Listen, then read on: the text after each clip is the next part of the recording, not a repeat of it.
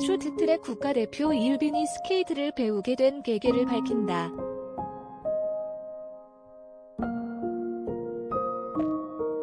21일 밤 9시 50분 방송되는 채널A 예능 프로그램 슈퍼 DNA 피는 못 속여, 이하 피는 못 속여, 에서는 베이징 올림픽 여자 쇼트트랙 3000m 계주에서 은메달을 따낸 1500m 월드 랭킹 1위 유빈 선수가 출연한다.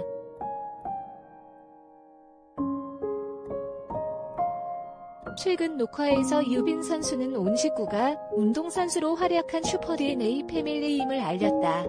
이유빈의 아버지는 과거 육상 선수로 뛰다가 에어로빅 선수로 전향했고 어머니는 허들 선수 출신이다. 이유빈의 오빠 이준서도 쇼트트랙 선수다. 놀라운 운동 유전자를 물려받은 이유빈은 부모님께 기초 체력을 물려받은 것 같다.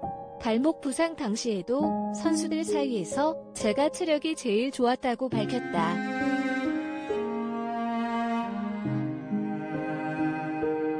또한 이유빈이 빙상장에서 본격 훈련에 돌입하자 아버지가 나타나 딸을 사랑스러운 눈빛으로 지켜봤다. 이유빈의 아버지는 다치면 바로 병원에 데려가려고 매일 빙상장에 온다며 딸 바보 면모를 드러냈다.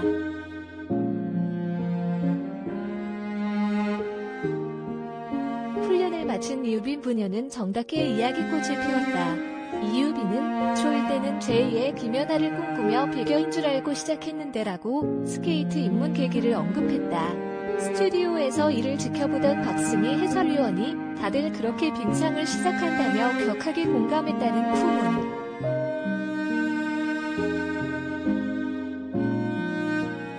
앞서 유빈은 JTBC 아는 형님에 출연에 별명이 김연아 키즈라고 밝히며 스케이트를 배울 때 피겨밖에 몰랐고 김연아 선수밖에 몰랐다.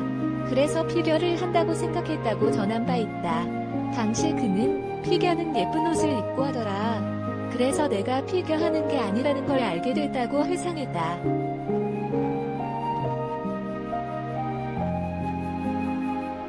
이소윤 기자 콜론 소윤 리의 터프 포스트. 해양